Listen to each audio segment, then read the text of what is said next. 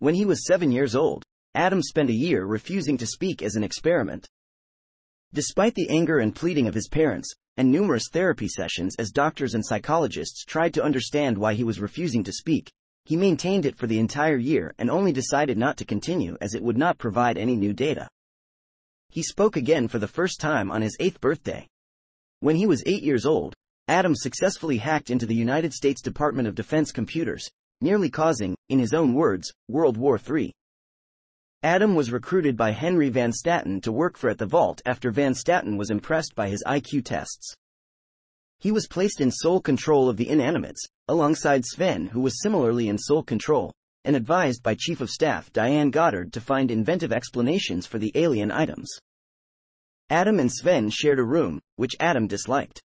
One night, as with all new workers in the vault, he was abducted by guards led by Simmons and taken to see the captive Dalek. Not liking the creature's current name, Pepper Potnik, Adam suggested calling it a Metaltron, a name that eventually became the official name Van Statten gave it. Adam followed Goddard's advice, which caught Van Statten's favor. Van Statten asked him if he wanted a room of his own, which Adam accepted despite being warned actions had consequences. In response, Van Statten had Sven's memories wiped in front of him, which led to Adam deciding to stockpile alien weapons under his bed in case Van Statten one day decided he should face the same fate.